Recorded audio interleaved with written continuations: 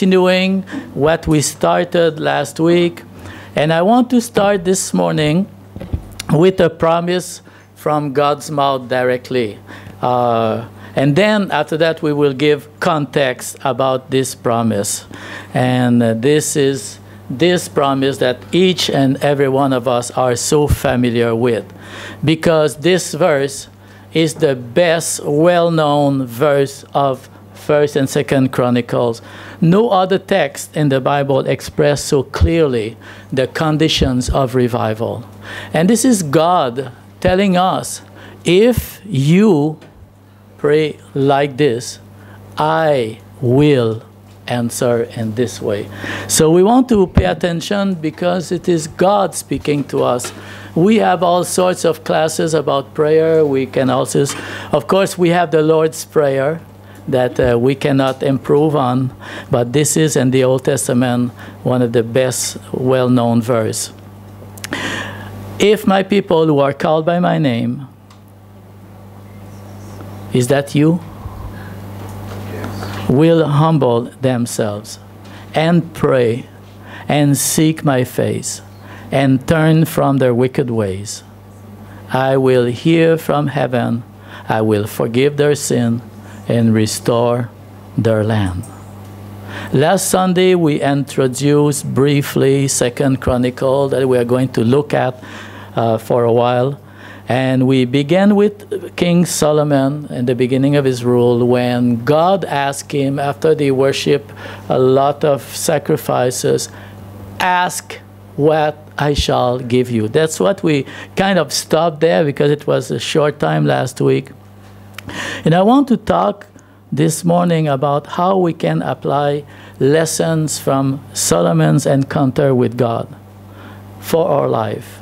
And how we can also as a, as a church because in second chronicle and the coming messages the messages are going to address more ourselves as a church than as individuals sometimes we speak to individuals sometimes we speak as corporately so it is if my people and uh, in the Old Testament, it is Israel. In the New Testament, we are the church. If my people, and we're going to uh, talk about this, we, how can we become a greater church than we are? We have a great church. Amen. Do you agree with that? Yeah. Lighthouse is, is a small church, but it's in fact a great church. And why is it? Because we have great foundation, first of all. And we have a great history that we just celebrated 28 years. God has done a lot of things in 28 years of our history. And we are proud of it and we celebrate what God has done. Of course, we are not a perfect church. We have a lot of things, a lot of weaknesses, and a lot of things that we don't, uh, we don't have. But we have what we have. And we celebrate what God has done. And this. And how can we become a greater church?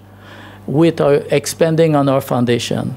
So God asked Solomon, What shall I give you? Ask, ask me. And we prayed and we closed the service last week in prayer on this.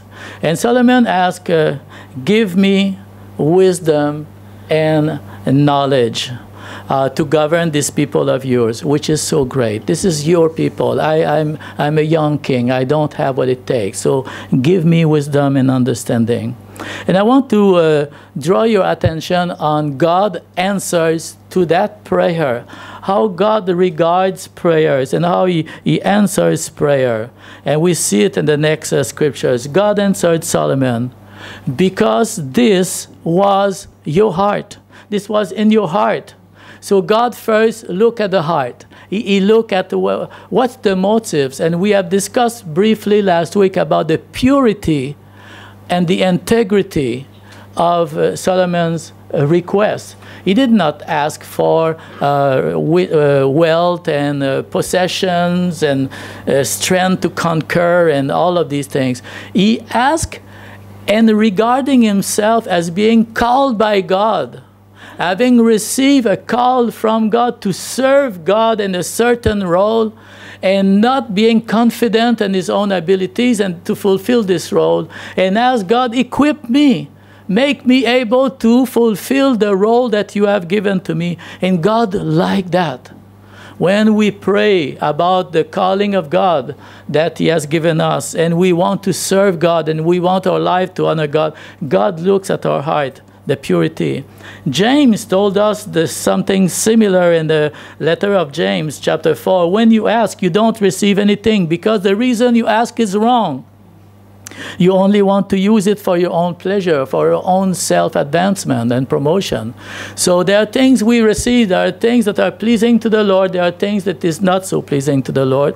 And Solomon here certainly pleased the Lord by asking for wisdom and knowledge.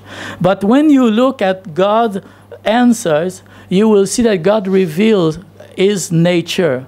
He gives Solomon not what he asked, he gives beyond what he asked. And that is very important and to know to realize that in our relationship with God. And God says, I will certainly give you what you ask because you did not ask for riches and power over your enemies and things like that. I will certainly give you the wisdom and the knowledge you requested, but I'm going to give you much more than that. I'm going also to give you what other people would have uh, requested the possessions, the wealth, the wisdom, and, and all of these things. He will give so much. So that when we look at the life of Solomon, we can see the effect of God's uh, answering his prayer. And God gave Solomon wisdom and knowledge or understanding beyond measure and breadth of mind is intelligence is is ability to discern his insight his understanding of society of the, the, the problems of uh, managing and ruling and governing was like the sand of the seashore. For he was wiser than all other men, and his fame spread throughout all the surrounding nations. And all people, people of all nations, came to hear the wisdom of Solomon. So that is awesome when you realize that, that God gave him wisdom and understanding or knowledge beyond measure. And the word knowledge or understanding here uh, in the original Hebrew uh, language is intelligence, skillfulness, ability to argue and to defend your arguments and to present your cause exceeding much. It will be beyond, it will be so much, and the bread of mind and his intelligence will be. You know, after the queen of Sheba, you find that in the second chronicle, after the queen of Sheba, Sheba came and look at Solomon's food Solomon's servant, the clothings, the wealth, the buildings, the, the, the structures of his organizations, his management uh, style, and uh, how he, he governed and everything. You know what the Bible says? She was breathless. It took her breath away. She could not speak anymore. She was so, so in awe of what she could see. The Bible says there was no more spirit in her, or no more breath in her. And later on, she says, You exceed the fame of which I have heard. And James, again in the New Testament, tell us if you lack wisdom, you can ask wisdom. So it says amazing because when you look at the Old Testament, all the principles that you find in the Old Testament and the, the, the promises, the, the, the scriptures that exhort us in the Old Testament are also found in, in a parallel form in the New Testament. We find a God pleasing, uh, pleased with Solomon's about asking for wisdom to fulfill his duty to be a good Christian, to be a faithful followers and a good king and a good leader. And he is pleased with that kind of, uh, of uh, prayers. In the New Testament, James, you want wisdom, you're lacking wisdom, you, you want wisdom, ask and it will be given to you. And we know now, looking, that he gave Solomon so much beyond what he was asking. And God can bring us to a place of saying, Wow, God, you are so much better than what I was expecting. And Ephesians, it says, like, uh, beyond what we can think of and ask, God is beyond that. Amen? Amen? Hallelujah. This does not guarantee that we will all become wealthy like Solomon. Eh? But if we put God first, He will give us a type of wisdom that will enrich our life, that will make our life more meaningful and more rewarding, full, more full, fulfilling, and uh, a greater wealth will be in our life. Wealth is not only money in your pocket. Wealth is a way of life. Wealth is peace when you sleep at night. Wealth is intelligence and your relationship. Wealth is a, a form of a walking with success and confidence in God because God is with you and He bless you.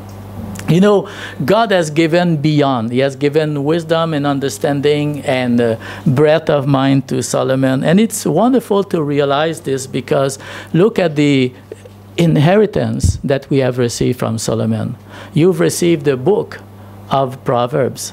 How many of you dwell in Proverbs, receive wisdom from Proverbs, enjoy actually reading the proverb and listening to that? Last week in my daily devotion, I was uh, blessed with Ecclesiastes. I was listening to that as in my breakfast with my wife, and we were discussing and we were saying wow to, to what we were uh, listening to, the wisdom and the Song of Solomon. Did you know that uh, Solomon composed 3,000 proverbs and 1,005 songs? You read that in the Bible.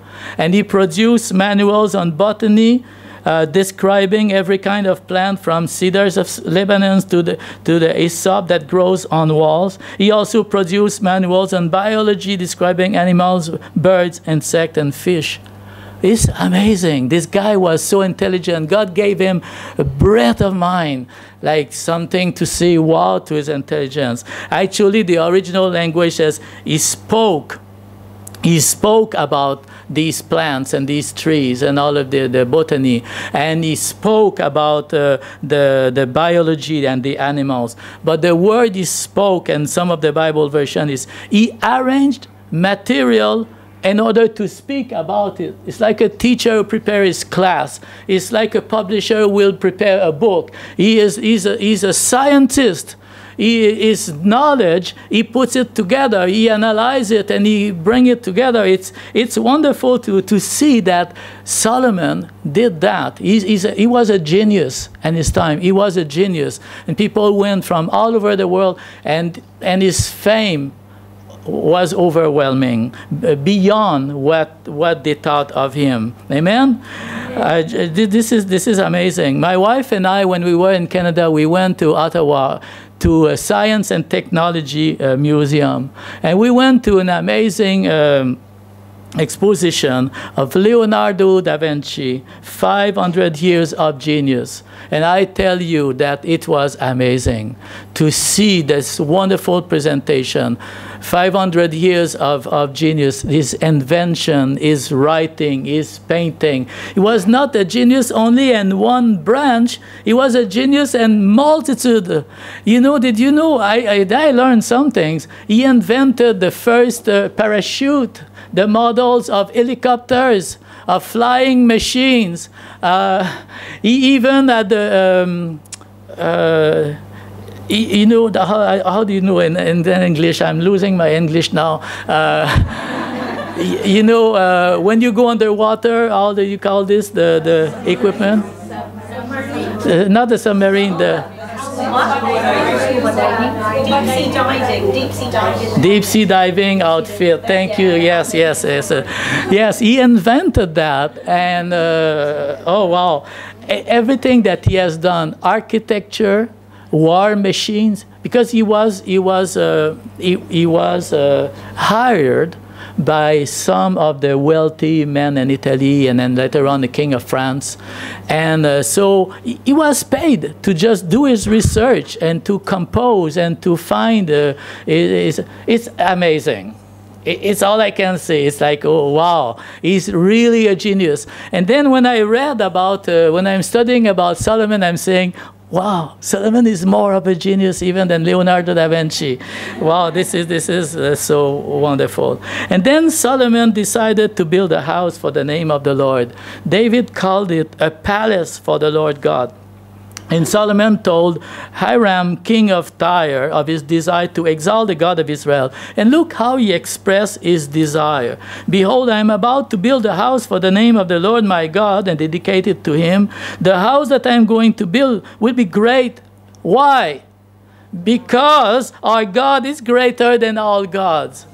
And there's something in the book of uh, Chronicles that you we will come back to that theme is that Lord, the, the book of Chronicles does not discuss the failings of Solomon, does not discuss the failings of the king of, of uh, Israel. He leaves them aside. He wants to show the greatness of God among his people. And when God bless uh, David and bless Solomon, he is reminding to his people in exile at the time remember how God can bless a nation. Look at the time when I was blessing David. Look at the time I was blessing. If you humble yourself, you come back to me, I will bless you in the same way. So he was building up a message that was given, going to be given to the exile at the time before they would come.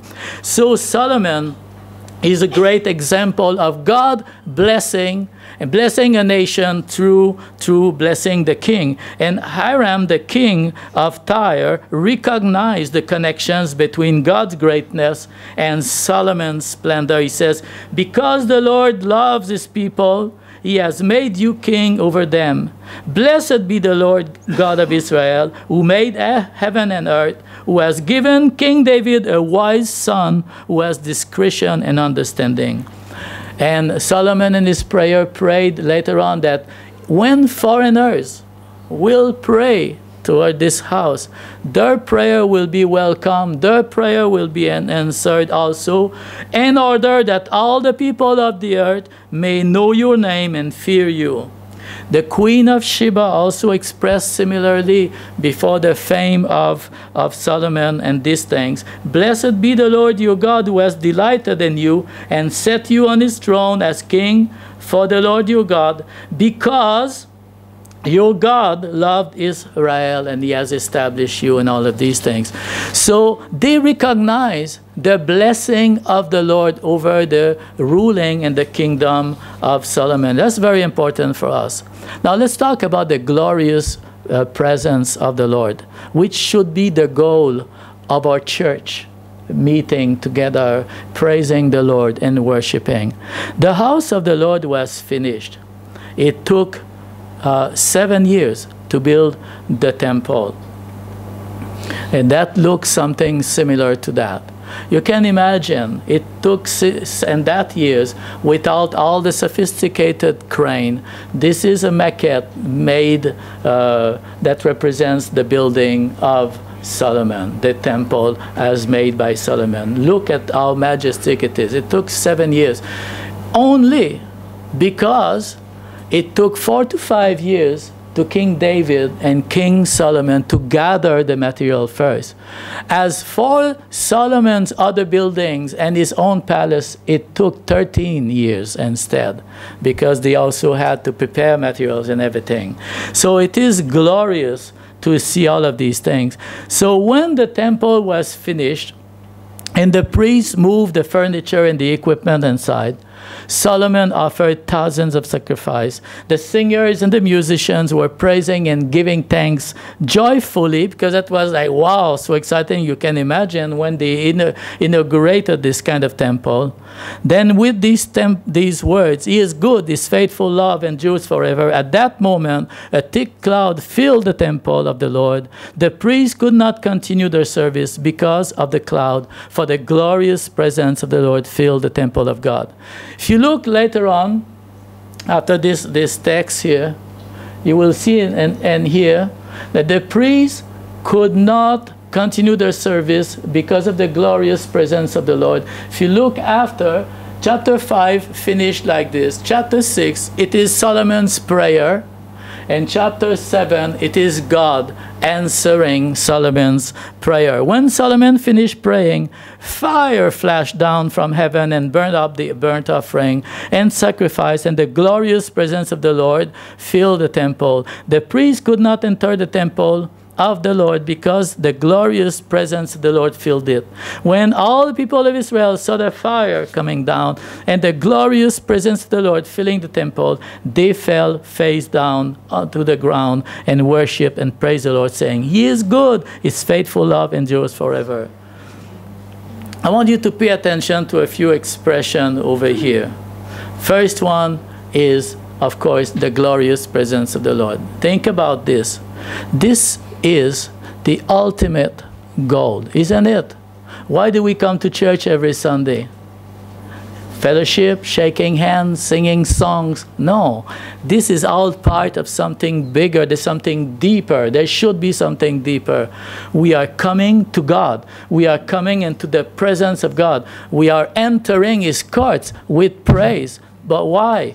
It's so that we encounter the glorious presence of the Lord. This is, this is the glorious presence of the Lord that heals, that transform, that change our life. Without the glorious presence of the Lord, uh, why do we go to church? Uh, just to feel good, to, to learn a new song? No, we need Uh, it's a good reminder for us. We're talking about God's people coming together.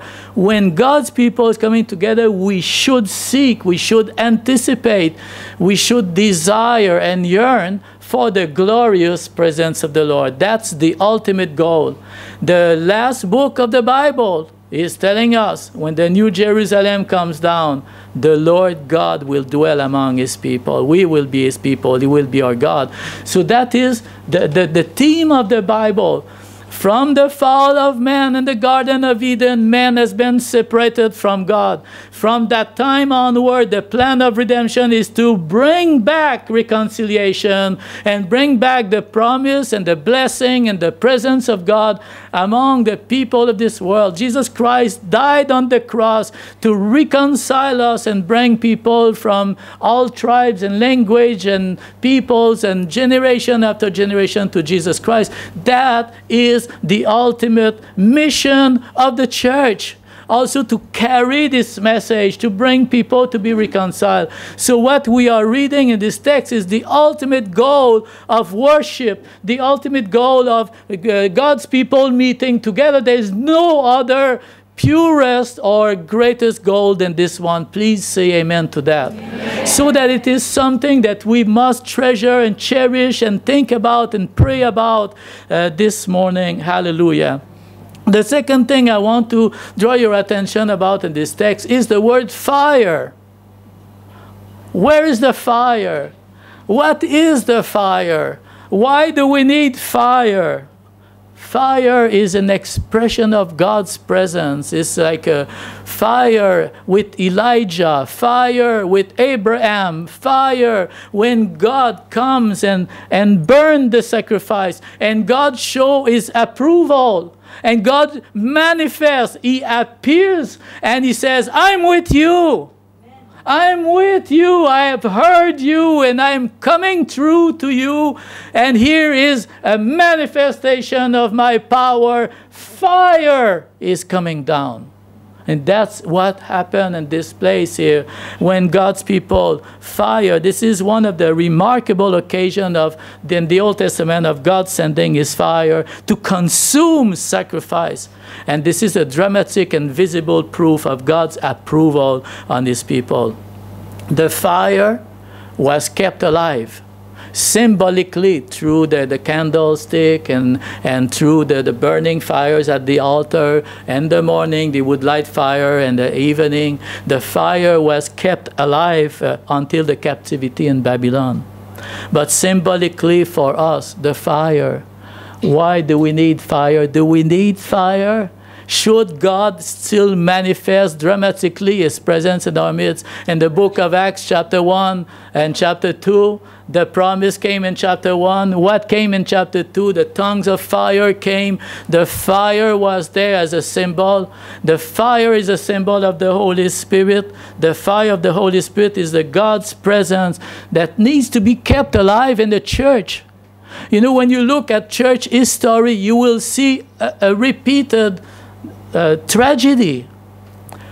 A church movement is born, a revival is going on.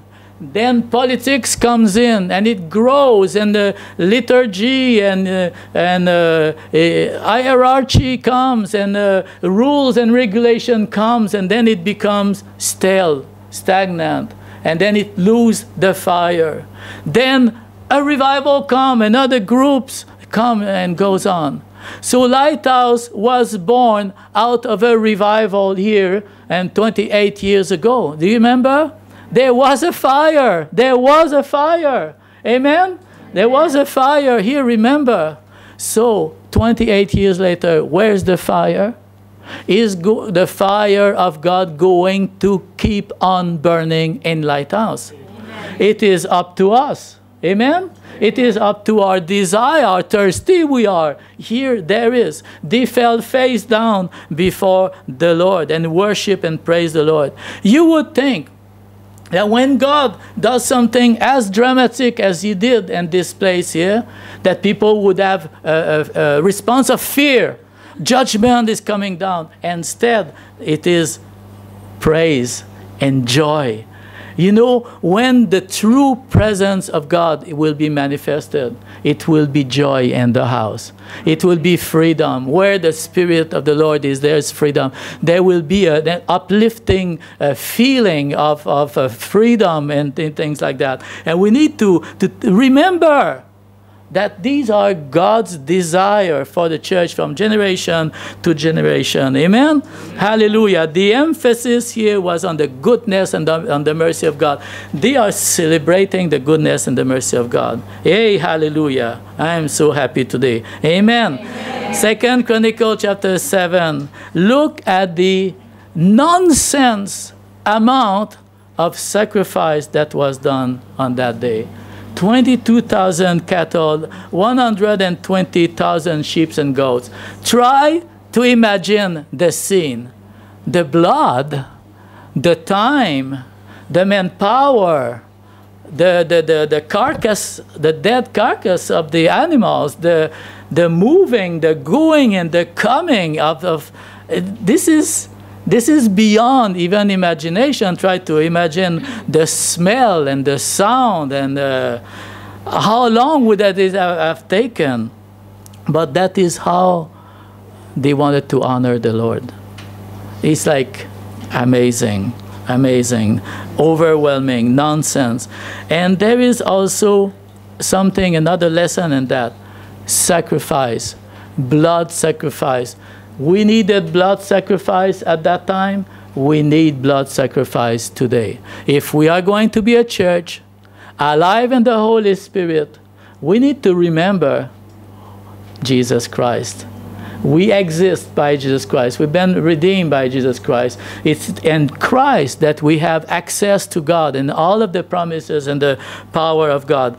Keep in mind Christ's sacrifice to come into God's presence. Another want I want you to look carefully at verse 6. This is talking to us here this morning. Look at verse 6. The priests took their assigned position. I like that. When I read that, I says, yes, this is how the church has to be. Each one of us, we are called by God to join a local church. This is Lighthouse. This is our church. We are accepted here. You are welcome here by the Lord first and by the church members. Each one of us have a role, a ministry, a calling, something to do, something to collaborate, to, to add up to the life of the church. And we took our assigned position, each one in their position of service, just as we should.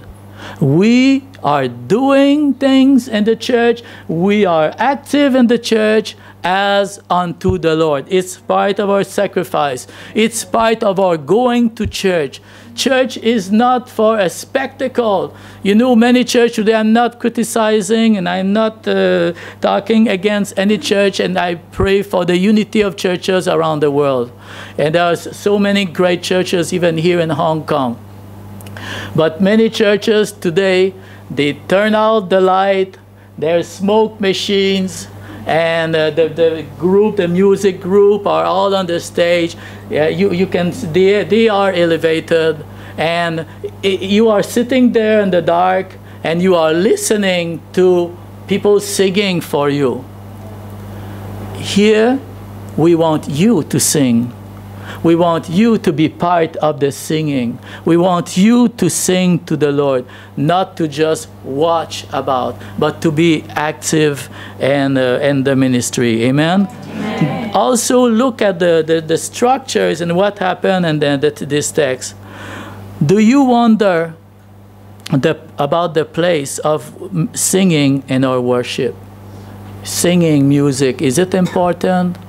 You know, uh, should we do it? Why should we do it? Look at this text.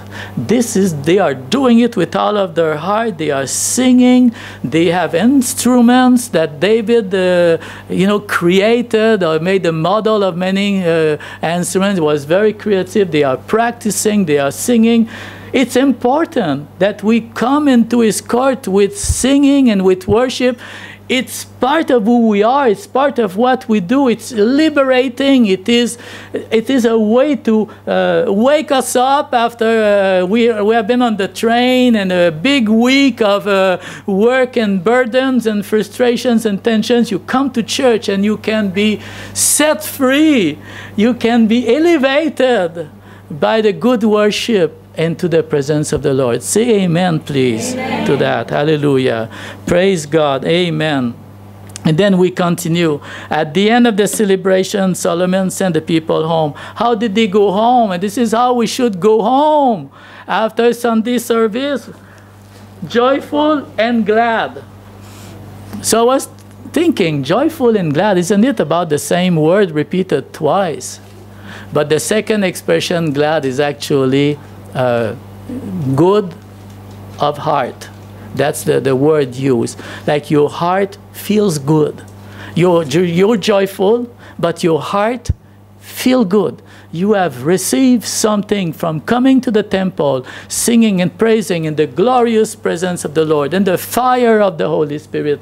And all of these elements that we have and our participation, we are living glad and our heart is satisfied. We, our heart is feeling good. Amen? And this is how we should go back. And also, when they go back, they are joyful and glad because they are also remembering David and they are remembering Solomon. They are remembering their history. They are remembering what they are part of. They are part of a church that has 28 years of, of history. And God is continuing, and you are here today in God's plan, in God's generation, in God's time. It's not a mistake that you are here, that I am here. We are here today, and we can celebrate with gladness of heart our history, expecting more to come from the Lord. Amen? Hallelujah. And then we continue. So Solomon finished the house of the Lord in the king's house. Seven years for one, 13 years for the other. All that Solomon had planned to do in the house of the Lord and on his own house, he successfully accomplished. Then the Lord appeared to Solomon in the night and said to him, I have heard your prayer, and I have chosen this place for myself as a house of sacrifice. Wow. This is the second time that God appeared to Solomon at this time. Amen. If you look at the next uh, scriptures here, uh, wow, what is that? Is that here? Oh, yes, here. After it took Solomon 20 years to build the Lord's temple and his own royal palace. And after Solomon finished building the Lord, this is from uh, King here, uh, the royal palace and all the other constructions, projects he had planned, the Lord appeared to Solomon a second time in the same way he appeared to him at Gibeon, which was the first time when he had offered sacrifice after he had been inaugurated king. And he went to Gibeon, which was the Moses uh, temple at the time.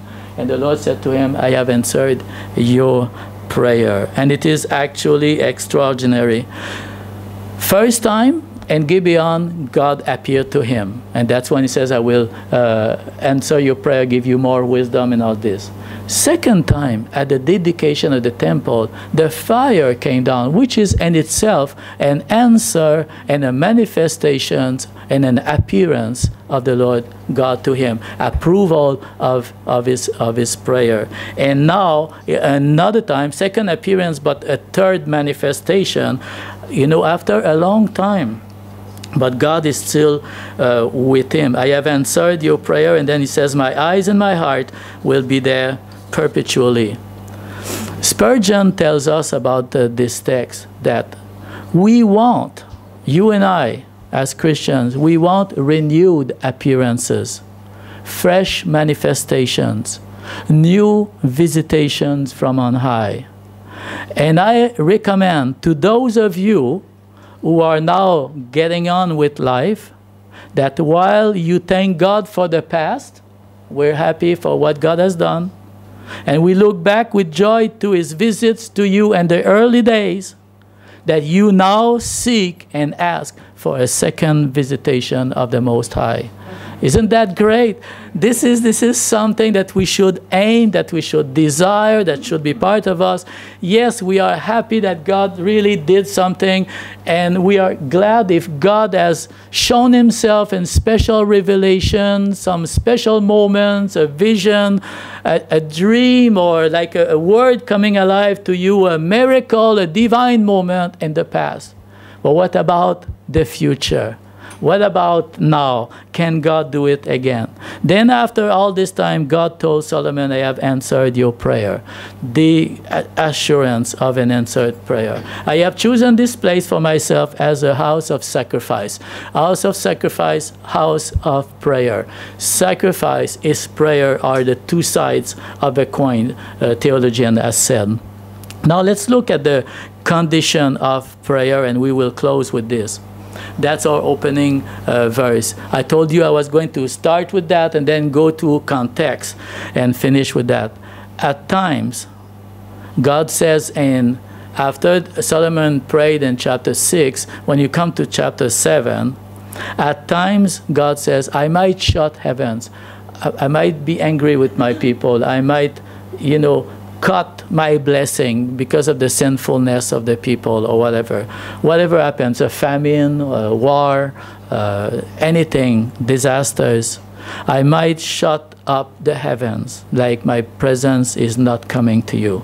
Then, if my people who are called by my name will humble themselves and pray and seek my face and turn from their wicked ways, I will hear from heaven and will forgive their sins and restore their land. God Himself here promised to hear our prayers, the prayer of His people.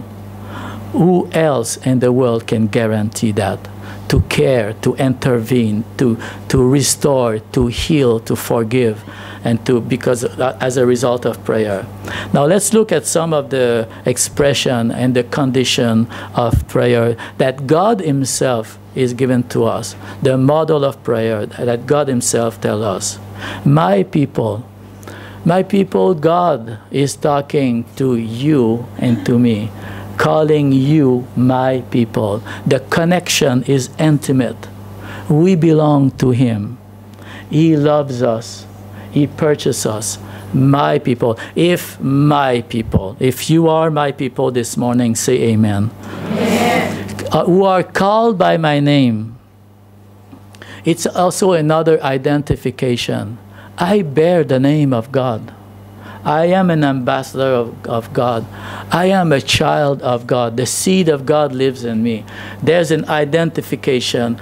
The name of God is with me when I am seen in my, with, with my friends or my family, they see a Christian. A, a, a Christian, a followers of Christ. My name is identified, uh, the name of God is identified with me. People know I, am, I belong to, to Christ. There's an identification. I bear his name. Humble themselves and pray the, the humility is very important. It's to admit that we cannot help ourselves and our, our own problems, out of our problems. We cannot do that. But if we are honest, many of us, at times, we feel that we can do it by ourselves. We are very confident. We are very independent. We have money in the bank. We are intelligent. We have enough experience. We have friends. We have resources. For many times, we can take care of ourselves. So, humble ourselves is what Jesus called in the Beatitudes uh, spiritual poverty, the one who is poor in spirit, the one who can recognize our spiritual poverty. If we want the Lord's power in our lives and in our church, we have to admit that our abilities, our great plans, our organizations, our missions, our worship, it's not perfect. It's not enough. It's, it's not yet there. It's, we, we need God in our, in our life and in our church. It cannot do the job for the glory of God. Everything that we do cannot necessarily bring the glory of God. We do a lot of our own things that bring glory to ourselves and not necessarily to, to God. When we humble ourselves before Him, we are admitting that we have that we say no, no, no faith in my ability, but instead we are proclaiming our faith in God's ability. Then there is the seek my face. If you seek my face, you're seeking, you're searching, you are yearning for. There is a, desire, there is a thirst here. It's like, you know, many times we read, this is, this is such a popular and many misquoted or often quoted that we forget to stop at what it means. Seek my face seek God, to seek to find, and to seek regularly. It's not uh, only when I get in trouble at some point, but it's like an attitude of seeking God regularly, to request, to desire, a yearning to enter into the presence of God. Turn from their wicked ways. Is to be different, is to want to be different, is to want to stop what is wrong, the attitude that is wrong, the, the various type of attitudes and habits and weaknesses and things that we gratify or things that we tolerate, things, the things that we just justify as not a big deal in our lives, but that is not pleasing and it, it, it is taking something away from our devotion, from the fire of God. It's doing something not good and our uh, relationship with God. Let me give you a partial list of things that we may think of, like idols that uh, maybe lead us into sins. Money or job, which is very common. We work a lot, it comes first. Possessions, positions or status or reputation, what people will think of us. It makes us pretend instead of humbling ourselves. Pride and hypocrisy do we have that in our lives? Yes? Okay, you don't say yes. Okay, fine. A relationship or a person, sexual immorality or lust, cheating or stealing, a habit or a habit, or any number of things that you and I may have put before God in our lives. Anything that may uh, takes something away from the Lord. There is something in our life that we need to clean, and that is what it means to turn from their wicked ways.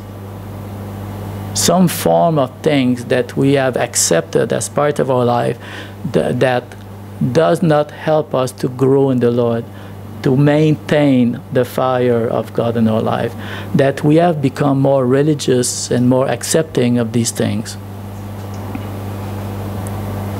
Then we can anticipate the confirmation from God. God will send revival. He will heal. He will hear us. Then I will hear from heaven. If we take care of the if. We take care of the if if we, there's no there's no if we don't do it so you see in today's modern church prayer worship and attitudes it's like it's enough to turn to God. Just turn to the Lord. Just cry out to God. But according to God, it's not enough. You know, you have concerts today, you have people like raising hands, singing to God. We have a lot of things going on today. But is that enough to God?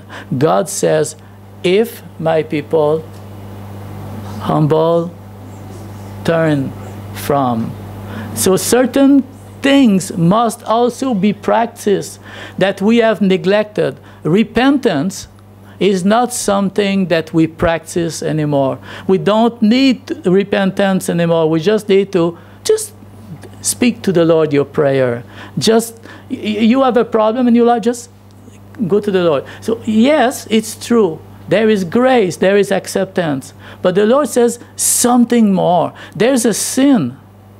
If there is a sin or a sinful attitude, there should be a repentance. There should be a humbling, which we have in our modern church life and sermons and message just removed to make everybody feel good and God is good, God is love. Just, just speak to God. Just God everything will be. It's just like you know, the magic wand, wand, just God will make it right. But God says, listen, I will hear your prayer. I will heal you. I will forgive you if my people. So I think this morning it's important, especially in the time that we live, that we consider the Word of God. Will forgive their sin and heal. It means He will help us. He will bless us with His power, with His fire, and with His glorious presence. And then closing the last verse. Now my eyes will be open. Sister Penina, maybe you will come with the musicians. Now my eyes will be open and my ears attentive to prayer made in this place. For now I have chosen and sanctified this house, that my name may be there forever, and my eyes and my heart will be there perpetually. I want you to look at my eyes, my ears, and my heart. That's a lot of God's attention. My eyes. He's looking, he's searching, he's, he knows you, he sees you my ears is waiting, is listening, is attentive. My ears are attentive. But it says my heart. You know that in the Old Testament there's not a lot of mention about the heart of God uh, and, and the sense of, of love uh, using the expression the heart of love. This is one of the rare scriptures of the Old Testament. It says, My eyes and my heart will be there. God is telling us. So this promise, of course, you will say, oh, it's in the Old Testament, it's about the temple. But let me remind you how much more confident are we that God will be attentive to our prayers when we offer our prayers in the name of Jesus. He is a much better temple, a much better priest, a much better mediator, a much better sacrifice and he gives a much better and assured uh, uh, access to God this morning. My eyes and my heart will be there perpetually. I want to sing that wonderful last song we sang this morning in closing and ask you to, to consider your, your role in the church. Think about Lighthouse this morning. Where are we going? My people.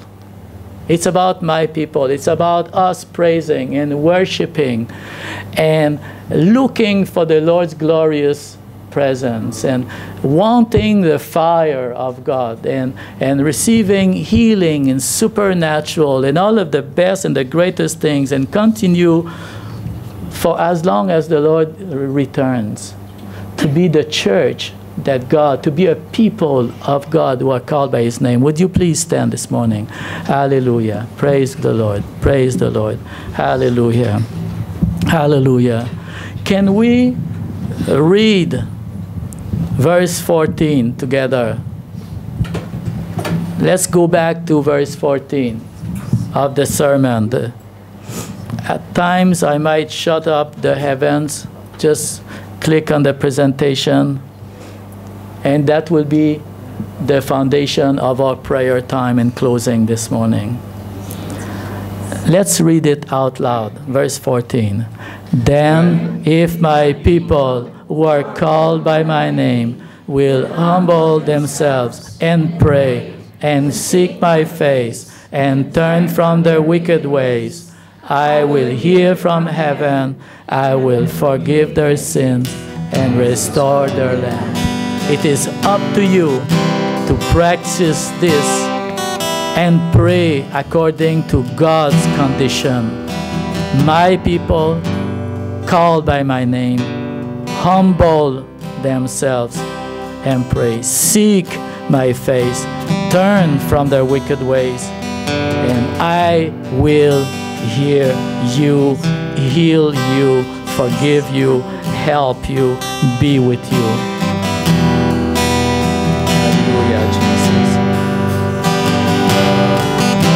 Hallelujah. I will wait for the Lord.